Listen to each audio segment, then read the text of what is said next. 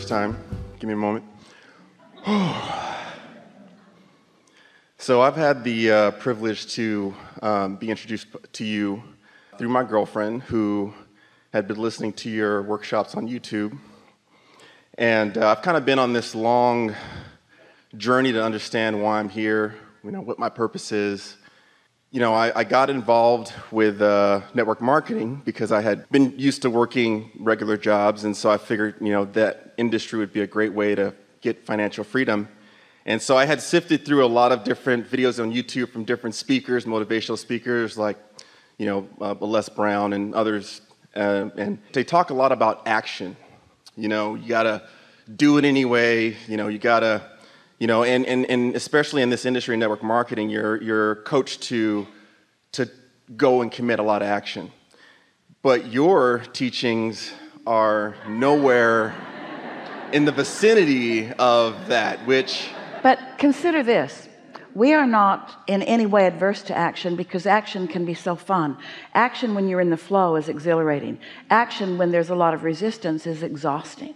So action isn't the question. It's what influence am I under when I receive the inspiration to act?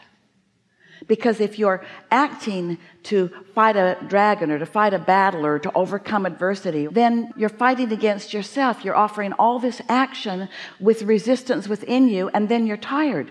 But if you're tuned in, tapped in, turned on, and you get an impulse to go somewhere, and you follow that impulse to act, and then you rendezvous with something and you see the benefit of that, entirely different experience. So act all you want. Just make sure you're under the influence of source. Because here's the thing about your inner being your inner being knows what you want in detail.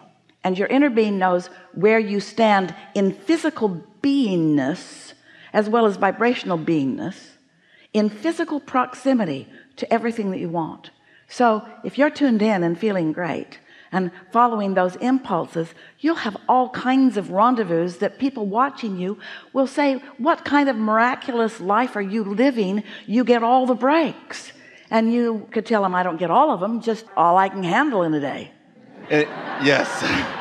And I'm starting to get into more ease with that idea that you know my business can be built based on energy and, and attraction and just relaxing and, and doing things that make me feel good. We're just going to ask you this one question. We want you all to think about this. How do you feel when someone has the philosophy that action is where it's at. So if I just throw enough mud against the wall some of it will stick. That's kind of what that philosophy is. So how do any of you feel if someone comes toward you with a solution that you're not asking for? Or a problem but you're out of sync with the solution but they've got one. So picture someone coming up to you and saying to you hey I've got what you need and trust me I've got what you need. And it doesn't matter how beautiful they are or how convincing they are think about how that feels when someone tries to assert themselves into your experience. As compared to how it feels when you've been thinking about something and you've had the thought hmm wouldn't it be nice if I rendezvoused with something that could make a difference? And you find yourself talking to someone who's not after you. You're just mutually having a conversation when you both realize that there's a win-win mutual benefit for both of you there.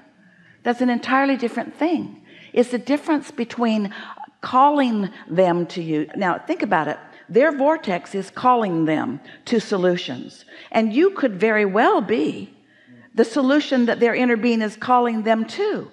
But unless you're in tune with your inner being you're not going to receive the inspiration to be there. So you want their inner being to call them to you. You don't want your action to do it because your action is making them go like this. When they're being called naturally and you're there that's a whole different thing. That sounds like a lot more fun it's way more fun it's the way the universe works Another thing that getting in tune with is this idea of abundance uh, and kind of feeling like the last gentleman, like somebody. We want to ask you a question before you go further in this. So, the idea of abundance is an idea, idea meaning thought. The feeling of abundance is something even more. Because the feeling of abundance means that the idea of abundance is really familiar to you. When the idea of abundance is really familiar to you so the feeling of abundance is chronic within you. Now you got this steady thing going on.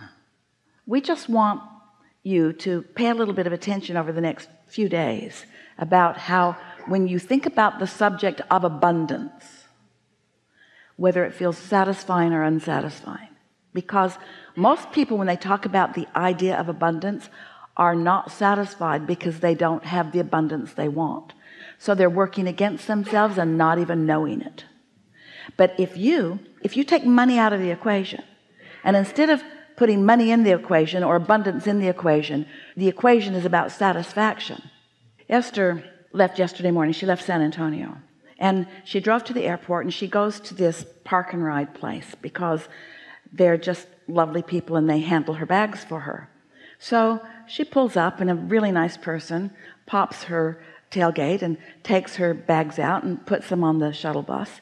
Then another nice person gives her a ticket and they give her a close one because they know her and she's there always and she asks for that VIP she's willing to pay the extra for it.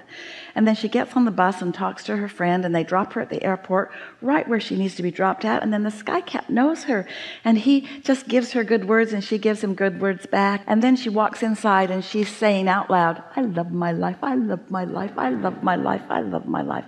Appreciation but satisfaction satisfaction satisfaction satisfaction satisfaction satisfaction satisfaction satisfaction and that satisfaction brings lovely co-creation all day long lovely experiences this and this and this and this and this and this and this and this and this and this and this so many reasons to feel satisfaction and as you focus upon it you dovetail with the whole of who you are. And the satisfaction of your inner being reverberates through you. And your point of attraction becomes mighty. The leverage of attraction becomes huge. And the resistance that you might have had otherwise is non-existence. And then one after another the cooperative components of your desire. And you know when you think about win-win a cooperative component for you brings another who is a cooperative component for you but it also brings you who is a cooperative component for them.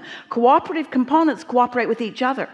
Only the universe knows who's vibrating what and more important who's ready to receive what they're asking for.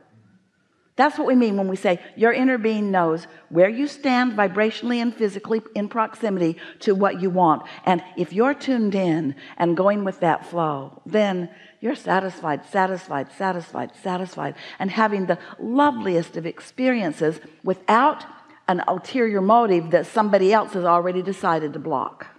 Because sometimes the very thing that you're offering is exactly what they're looking for but they don't think they want it. And so you got to sneak up on them you got to sneak up on them with your joyful being. You've got to let them know what you know. You're offering a whole lot more to them than you could ever define through that one labor. You're offering to them tuned innedness. You're offering to them joyous life experience. You're offering to them an example of someone who knows how the universe works. You're offering to them everything that they're looking for all wrapped up in this cooperative component you see. And so if they knew what you know they'd be flocking to you. But since they don't then you can't care. And if you stop trying to overcome what they don't know by seeking their mutuality by answering all of their objectives which just makes them dig in harder and object more. And instead you just live happily ever after and radiate who you are and the law of attraction knows which one of them are ready for you then maybe action isn't out of the equation but effort is.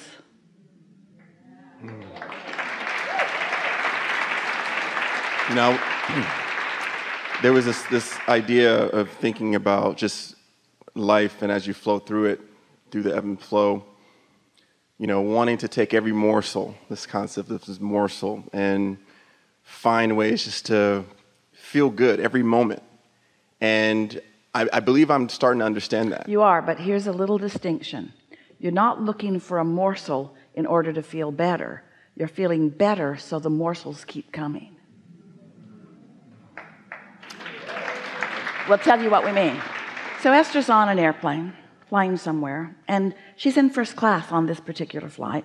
She flies whatever the direct route is and chooses first class if there's no direct route. So she was on a Delta flight and she was satisfied. So she's sitting in the front cabin and she's liking it and she's enjoying the comfort of her seat. And now the flight's underway and she's reclined her seat and it's a nice recline and but she puts her sunglasses on and her earphones in and she thinks I'm so satisfied. And then she thinks mm, maybe I would like my blanket. So she unwraps the blanket that Delta gave her and puts the blanket up around her and she's got a way. She can just sit in that seat and get her legs stretched out and her shoulders just in the right place and her neck pillow. Ah her blessed neck pillow and she was just so satisfied. And she barely closed her eyes and the flight attendant came to her and tapped her softly on the shoulder and he said I've warmed this bottle of water for you. I thought you might like it. And just for a moment Esther thought do I look old and feeble? And then she thought no I am so satisfied. And we say in her satisfaction everyone in the vicinity got caught up in the drift of her satisfaction and were literally looking for more ways that they could make her more satisfied. A very cooperative component got drawn in to the satisfaction that Esther had going on. You see that's how it works. It's not being dissatisfied and looking for the solution it's being in the solution of satisfaction and then the solution showing itself to you in broader and broader and broader and broader ways. Have you ever had anybody put a bottle of water in the microwave and give it to you because it might be more comfortable to you? Esther thought wow that's a first and I like it. I like it I like seeing how cooperative this universe can become to the satisfaction that I desire and deserve. And deserve. And deserve. And deserve. And deserve. You got to know you deserve it. If you've got a belief that you don't deserve it doesn't matter how much you want it you'll block it. You'll block it with your guilt. And I've been really working on not beating myself up as much as maybe in the past when I have dissatisfying thoughts like so you know. let's talk about something here. Let's talk about the distinction. So let's say maybe you've been beating yourself up on some subjects and you've decided that doesn't feel good and you're not going to do it. So you find the relief of giving that up. Focus for a moment on relief. If you're depressed it feels like relief to find revenge. If you feel revenge it feels like relief to only be angry. So there's all kinds of relief on the dark side of the emotional scale as you're moving up. So feel what relief feels like. Relief is letting go of some resistance. So feel the concept feel the emotion of relief. And now feel the distinction between relief and satisfaction. Because in relief there is still some resistance. In satisfaction there is none. And now you're in the non-resistant side of the moon now with non-resistance in tune with your inner being oh boy now the leverage starts coming the clarity starts coming the rendezvous start coming. In other words your power becomes obvious. You begin to feel who you really are. We like it when you stop beating up on yourself so much but we are really eager about that being so done that it's not even something that you're talking about you don't even have to remember when you used to do it because in satisfaction none of that resistance is present. We're fine-tuning here but you're hearing every piece of it. I just wanted to say I was so confident that you were going to call me up here and this is really surreal. Yeah. There you go